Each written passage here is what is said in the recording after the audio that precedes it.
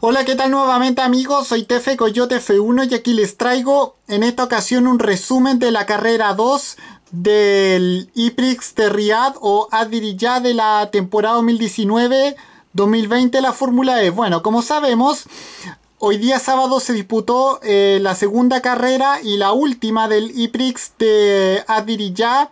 de esta nueva temporada 2019-2020 de la Fórmula E, la sexta en la historia de esta categoría eléctrica eh, de, monoplaza la FIA. Y bueno, como sabemos, el ganador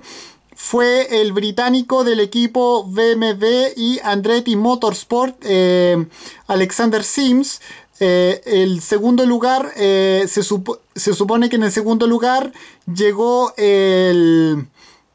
el alemán de, de, la misma escudería, eh, Maximilian Ganter, pero eh, lamentablemente él fue descalificado y el segundo lugar finalmente fue para el piloto del equipo Audi, eh, el brasileño Luca Di Grassi, y el tercer lugar fue para el belga del, del equipo debutante, el equipo Mercedes-Benz IQ, Stoffel Van Dorn. Y bueno, finalmente, como les dije, fue fue sacado del podio finalmente eh, Maximilian Ganter y finalmente, como yo ya dije, Lucas Di Grassi y Stoffel Van Dorn completaron el, podio de honor. Bueno,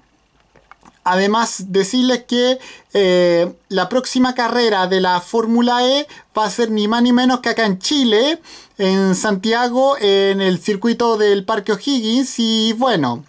espero que... Eh,